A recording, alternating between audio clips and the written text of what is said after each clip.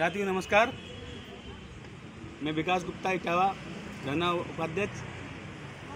आप सभी लोगों से निवेदन है कि आप सभी लोग 12 जुलाई दिन सोमवार को पाँच से दस हज़ार की संख्या में, और मैं तो ये चाहता हूँ कि बाईस हज़ार सीटों के लिए बाईस हज़ार लोग आएँ, क्योंकि अब हमारा ये जो युद्ध है, वो उच्च स्तर पर पहुँच गया है, और हमारी जो मांग है, वो सरकार के कानों में गूंज रही है, और अधिकारियों तक पहुँच चुकी है।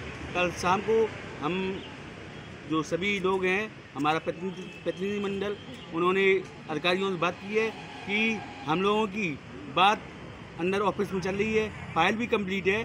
बस उन्होंने ये कहा है कि आप लोगों का संख्या बल कम है।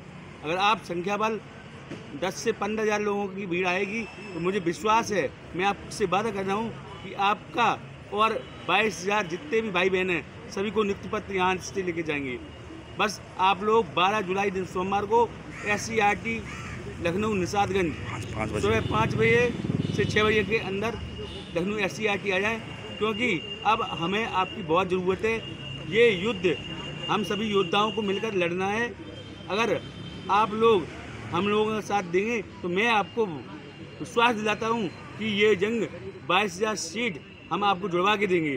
पर आप घर से निकलिए और जल्द से जल्द एस सी पहुँचिए। आप लोग दो तीन दिन का प्रोग्राम बना के आइए, दो तीन दिन का जो है अपना बजट बना के लाइए, जिससे हम लगातार सरकार पर दबाव बनाएँ और सरकार हमारी बात ज़रूर मानेगी। हमें विश्वास है। बस हमारा संख्या बल मज़बूत कीजिए, हम आपको बाईस हज़ार सीट देंगे। धन्यवाद।